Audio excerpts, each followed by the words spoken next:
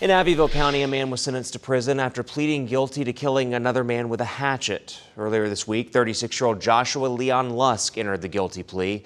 He was charged with murder for the death of Kenji Kilgore back in 2022. Lusk was sentenced to 30 years in prison.